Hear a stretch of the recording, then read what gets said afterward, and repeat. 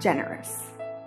Um, I think that Justin and Amy really treat their employees like family, um, and we get to treat our clients like family, and we'll go above and beyond. You know, it's not just about making money for us. Um, we'll do everything we can to help somebody because we know that people are in horrible situations when they call us. A lot of times it's the worst time of someone's life, whether they be charged with something criminally or they've been in a bad car accident.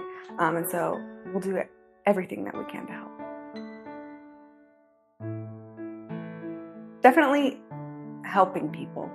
Um, like I said, people are usually at their lowest or in a, in a horrible situation when they call here. And so it's really great to, to feel like um, I can help them make that easier and make it better and, and get them out of it sometimes.